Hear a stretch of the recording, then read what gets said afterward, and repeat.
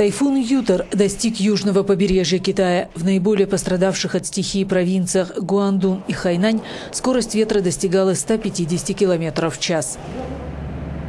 Из зоны бедствия эвакуированы около 160 тысяч человек. Заложниками тайфуна оказались и тысячи пассажиров. Большинство рейсов в аэропортах отменены. Ютер на целые сутки практически парализовал жизнь Гонконга. В среду здесь не работали школы и вузы, закрылись магазины. Приостановила работу фондовая биржа.